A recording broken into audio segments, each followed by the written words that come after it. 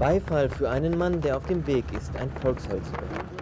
21 Tage lang lief der 54-jährige Boray Uras zu Fuß von Istanbul in die Hauptstadt Ankara. Wo er auftauchte, schlossen sich ihm spontan Passanten an. 600 Kilometer in 21 Tagen, ein Tag für jedes Lebensjahr seiner Tochter Selin. Selin Uras und ihr Verlobter waren nachts auf dem Nachhauseweg in der Istanbuler Innenstadt, als sie tödlich verunglückten. Ein Jugendlicher hatte während eines Wettrennens die Kontrolle über sein Fahrzeug verloren. Ihm wird derzeit der Prozess gemacht.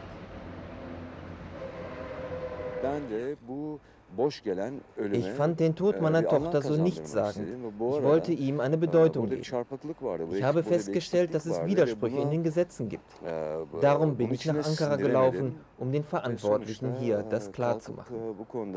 Karanlıkta olan hususları aydınlatmak üzere Ankara'ya doğru alle zwei Minuten passiert im türkischen Straßenverkehr ein Unfall, alle zwei Stunden wird ein Toter aus einem Autowrack gezogen. Hochgerechnet sind das mehr Opfer, als der zehnjährige Bürgerkrieg mit der PKK gefordert hat. Die Gründe übermüdete Fahrer, unsichere Fahrzeuge, waghalsige Überholmanöver, Raserei. Und die türkische Polizei lässt gegen Bakschisch selbst so manchen Betrunkenen seinen Weg fortsetzen. In den Zeitungen heißt es dann wieder, der Verkehrsteufel hat zugeschlagen.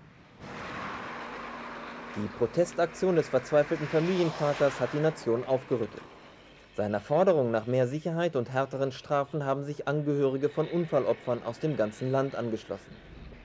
Der unbekannte Geschäftsmann aus Istanbul und der Verkehrsterror sind seit Tagen Topthema in den Medien. Nach seiner Ankunft in Ankara wurde Uras heute Morgen in den Präsidentenpalast gefahren. Eine Untersuchungskommission soll gebildet werden. Uras reicht das nicht. Wir werden eine Stiftung mit dem Namen Kampf dem Verkehrsterror gründen. In dieser Stiftung werde ich für das Leben der Kinder, Mütter und Väter arbeiten. Das war der Grund meiner langen Reise. Auf den Istanbuler Straßen herrscht derweil wieder Realismus. Nach einem Monat ist seine Aktion wieder vergessen. Halten Sie sich selbst an die Verkehrsregeln? Wir versuchen es, naja, Sie sehen ja, wir sind nicht angeschnallt bis das Verkehrsmonster das nächste Mal zuschlägt.